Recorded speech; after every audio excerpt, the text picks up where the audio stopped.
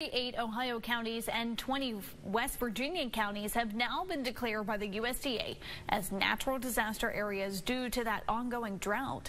In our region, that includes the seven Ohio counties and the 12 West Virginia counties that you can see on your screen there. The declaration allows the USDA's Farm Service Agency to extend emergency loan help to farmers.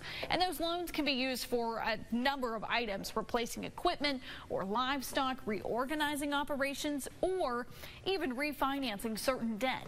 Now, the deadline to apply for the emergency loans, though, isn't until April 2025, so you do have some time. From the